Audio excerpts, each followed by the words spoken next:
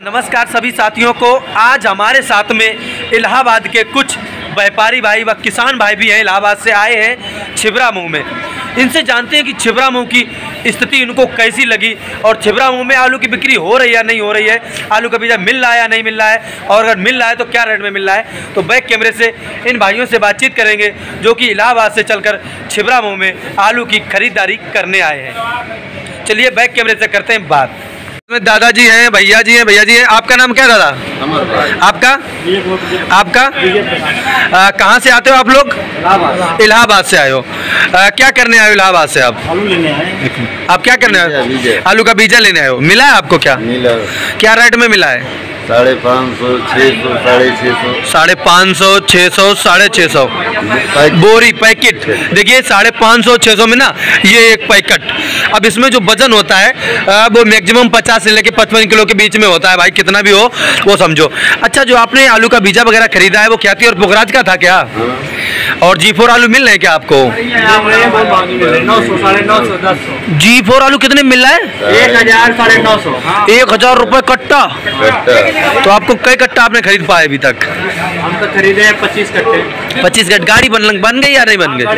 कब आए थे आप लोग? आए थे अठारह तारीख तो क्या लग रहा है कि छिबराऊ में आप लोग यहाँ पे आए तो आप लोगों को माल वगैरह पर्याप्त किसान भाई बेच रहे हैं, माल की नहीं बेच रहे हैं? बेच रहे हैं, बारिश होने से कारण से कम लोग आ रहे हैं? कम लोग बेच रहे हैं मतलब बिक्री तो हो रही है, पर कम हो रही है। क्या लगता है आलू का दाम और भी बढ़ेगा आपके हिसाब से? वैसे हमको जनाई नहीं दे रहा है बढ़ेगा। हम लोग चले जाएँगे तो भाव अपने दर पर रह जाएगा यहाँ। अच्छा हमें लग रहा है जो तेज़ी है आप इलाहाबादी आके मतलब इलाहाबादी आ गए तो तेज़ी कर दिए हो। ऐसी बात है ना?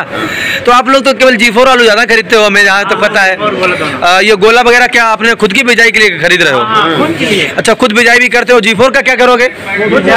वो भी बिजाई के लिए। आप लोग किसान हो ना? हाँ किसान तो आप लोग कितनी एकड़ खेती करते हो?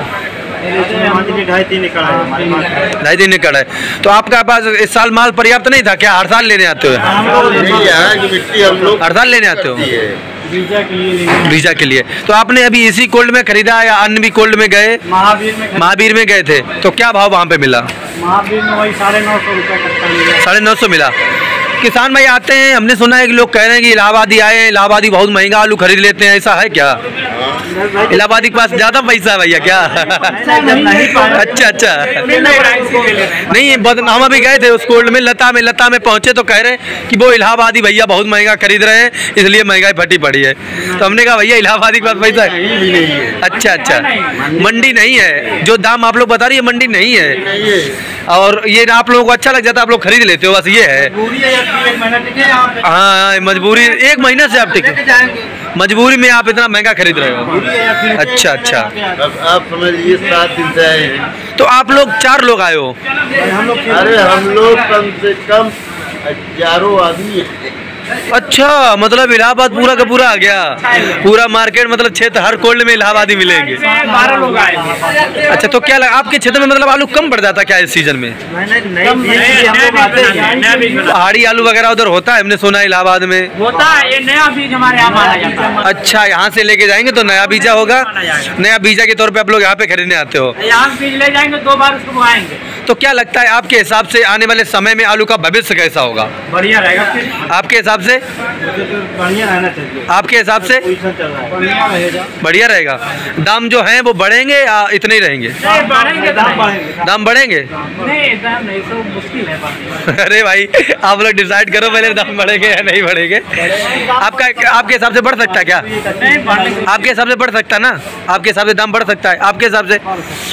तो साथियों आप लोगों ने देखा ये लोग इलाहाबाद से यहाँ पे जो आलू है अपनी बीजा के तौर पे खरीदने के लिए आए हैं। जैसा कि आप लोग देख पा रहे हैं, खरीद के ना गाड़ी पे लोड होगा, गाड़ी अपना लेके चल जाएँगे और ये लोग आलू की बिजाई वगैरह करेंगे।